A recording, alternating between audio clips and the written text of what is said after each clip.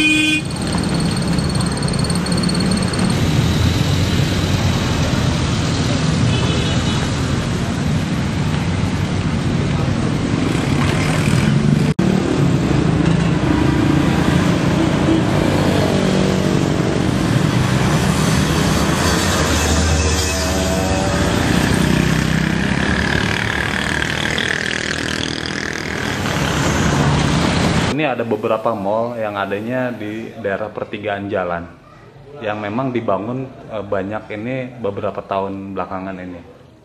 Eh, gimana itu menyesuaikan mbak? Karena sangat menghambat transportasi yang hubungannya ke ekonomi serta eh, aksesibilitas kan mbak?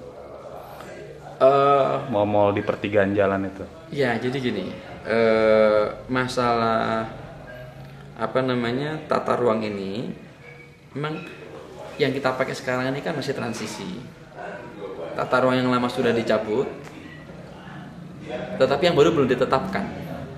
Gitu. Jadi ya oleh karena itu nanti ada hal-hal yang sifatnya eh, transisi, ya hal yang transisi ini ya kalau misalnya dia belum ada izin segera diurus izinnya sesuaikan dengan perda yang baru kalau ternyata di perda yang baru itu nggak boleh ya kita terpaksa tutup kembalikan ke fungsinya itu tergantung nanti di RT RW yang baru tetap mengacu kepada RT RW yang baru Ya, terima kalau kasih. ya. izinnya itu dikeluarkan pada saat masa transisi tapi kalau dia sudah sesuai di RT RW yang baru ya udah jalan terus Ya, tentu nanti ada dampak-dampak lingkungannya ini yang pasti akan ada amdalnya jadi di perizinan itu kan mensyaratkan ada AMDAL. Di situ termasuk dia AMDAL lalim.